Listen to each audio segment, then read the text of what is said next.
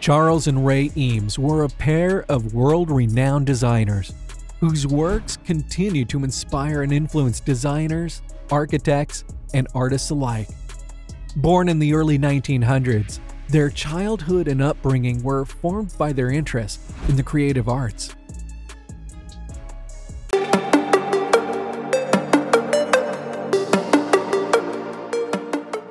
Childhood and early years.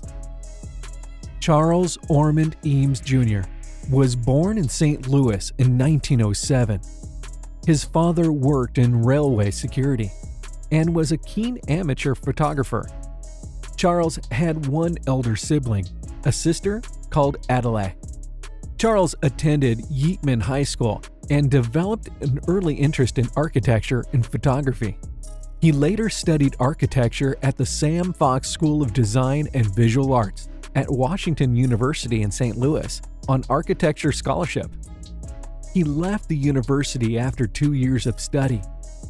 There are claims that he was dismissed for his interest in Frank Lloyd Wright and his work and interest in modern architects in general. The university reportedly dropped him because of his views were too modern. While at Washington University, he met his first wife, Catherine Warman, whom he married in 1929. They had a daughter one year later, Lucia Dewey Eames. Charles and Catherine were married for more than a decade, and then their divorce was finalized in early 1941. Bernice Alexandria Kaiser, or Ray Eames, was born in Sacramento, California in 1912, and she grew up in a creative and supportive family. She had an older brother named Maurice. From a young age, Ray showed a strong interest in the arts and crafts, which were fostered by her parents. Her father was a manager at the Empress Theater in Sacramento, a vaudeville theater, and her mother was a housewife. Together, they encouraged Ray's artistic pursuits. She attended the May Friend Bennett School for Girls in Millbrook, New York, where she studied painting, drawing, and sculpture. After completing her high school education, Ray attended the Cranbrook Academy of Arts in Michigan, where she studied under an impressionist Hans Hofmann. It was at Cranbrook that Ray met her future husband, Charles Eames. She was a student, and he was an instructor at the academy. They quickly fell in love and began working on design projects together. Their early years working together were characterized by experimentation and collaboration. They often worked on projects that combined Charles's knowledge of architecture and Ray's skills in painting and graphic design. Charles and Ray got married shortly after Charles was divorced from Catherine Warman. Furniture and architecture. The Eames are best known for their furniture design, which are innovative, functional, and stylish. Their furniture is still highly sought after today and have become icons of modern design, despite the fact that Charles Eames is quoted saying, quote, We don't do art, we solve problems. Unquote.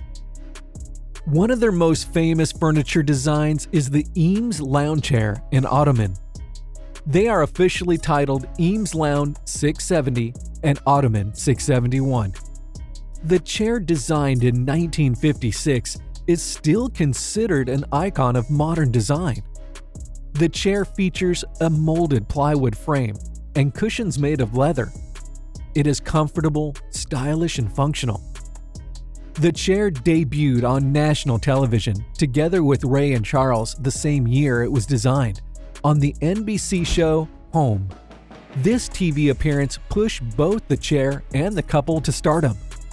It is said that Charles and Ray wanted their chair to, quote, have the feeling of a well used baseball mitt, unquote, something they seem to have accomplished in style.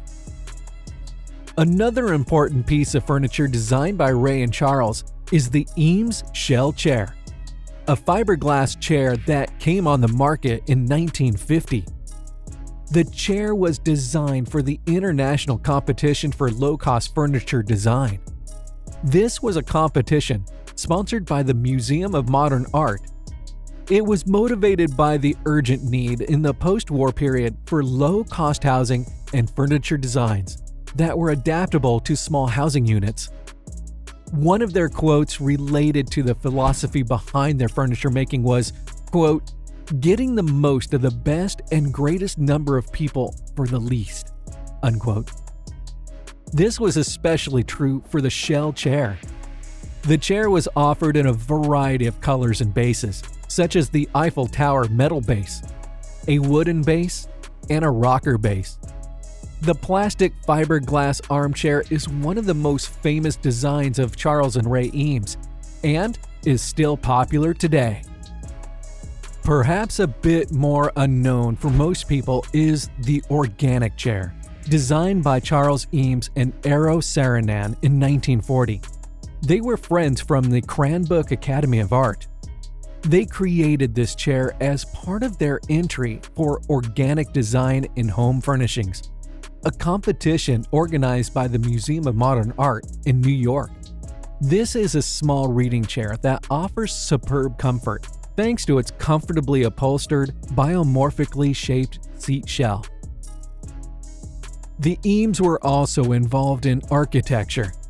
They designed a number of buildings, including Eames House, also known as Case Study House Number 8, which is also known as their own home and studio in Pacific Palisades, California. The house was designed to be simple and functional, with an open floor plan and lots of natural light. It was a landmark in the development of modern architecture. In addition to their furniture and architectural designs, the Eames were also involved in industrial design. They created a number of products, including toys, and even a medical splint for the US Navy. Later years and legacy in the later years of their lives, Charles and Ray continued to work together on a variety of projects, including films and expositions. They also traveled extensively and gave lectures on design around the world. They created the landmark multimedia installation Glimpses of the USA, which was part of the American National Exposition in Moscow in 1959. The installation showcased American culture and innovation and was an enormous success.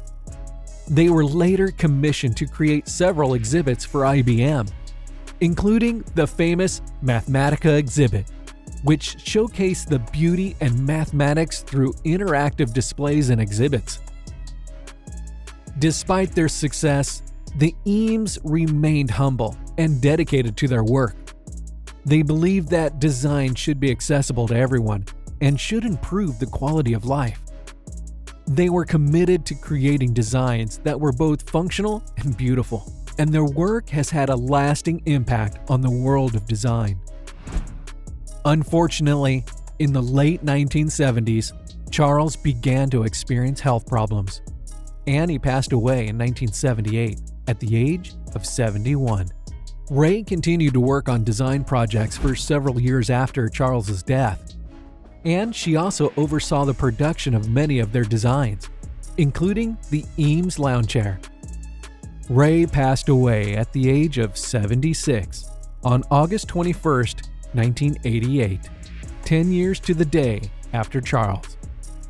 Despite their passing, the Eames' legacy lives on their designs continue to be produced and sold, and their impact to the world of design is still felt today. The Eames House, their landmark home in Pacific Palisades, California, is now a museum and open to the public. The Eames Foundation, which manages the house, also sponsors programs and events that promote design, education, and innovation. In recent years, the Eames have also become the subject of several documentaries, including Eames, the Architect and Painter, which explores their life and work, and The Power of 10, which explores the scale of the universe and was inspired by one of the Eames' films. The Eameses left behind a rich and enduring legacy. Their furniture designs are highly sought after and continue to be produced and sold by Herman Miller and Vitra, the furniture companies that produce many of their iconic designs.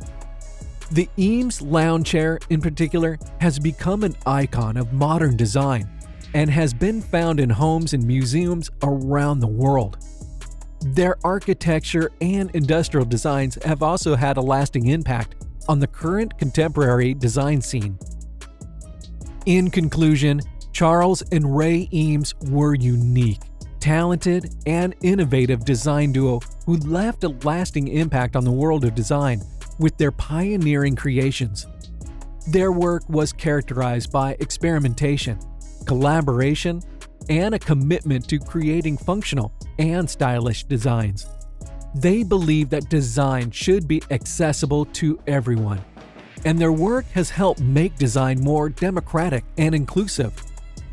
They were able to combine their individual skills and passions to create unique and influential body of work. Their commitment to creating functional, beautiful, and accessible designs remains an inspiration to designers, architects, and artists around the world as their work continues to be celebrated and studied today.